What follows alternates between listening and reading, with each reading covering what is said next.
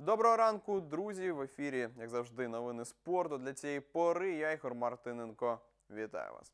Сьогодні будемо говорити про Лігу Європи. Два наших представники мають різні шанси, але звичайно ми порівну любимо та вболіваємо за дві українські команди в Лізі Європи УЄФА на груповій стадії. По-перше, київське Динамо, яке зрештою змогло реабілітуватися після дуже дивного початку, коли мали вигравати е, проти Астани в Києві і проти Ябланця в Чехії, але неодмінно поступалися на останніх хвилинах і втрачали перевагу 2-1 і 2-0 вели в тих матчах. Але зрештою добре, що змогли виправитись. Десь, звичайно, фарт, десь е, власні можливості та здібності, але зрештою дві перемоги важливих, яскравих та дуже приємних над французьким Реном, не останньою, м'яко кажучи, командою ні у Франції, ні в Європі.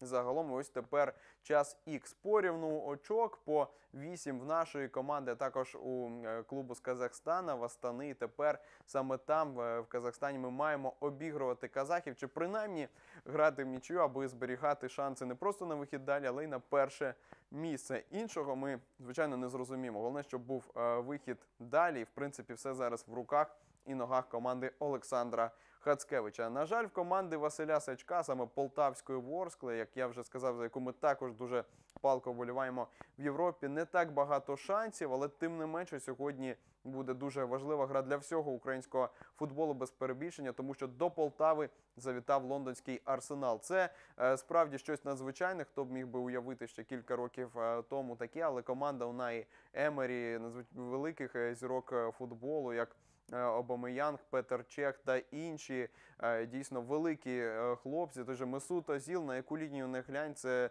е, дійсно великі постаті світового спорту е, та футболу. Сьогодні вони будуть в Полтаві. Тому ми чекаємо на цей матч так само. І гра в Лондоні показала, що є характер е, у хлопців з Полтави, і можливо саме сьогодні цей характер реалізується не лише в два м'ячі, але поступилися при цьому е, 4-2 е, полтавчани. Але ворскляни сьогодні можливо зможуть отримати і здобути важливі очки. Отож, вболіваємо за Україну в Єврокубках. Ну а наразі про спорт це все. Я Ігор Мартиненко. Вдячний вам за увагу. Бажаю всього найкраще та кажу: перемагайте!